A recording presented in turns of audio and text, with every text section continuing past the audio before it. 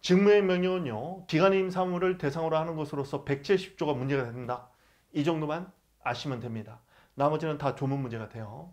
즉 기관임 사무에 대해서 어, 이행을 명백히 게을리하고 있을 때 감독청의 감독권 행사는 지방자치법 170조에 따른 직무행 명령 또는 대집행 또는 직무행에 필요한 조치를 명할 수 있다 이 정도만 알아두시면 되겠습니다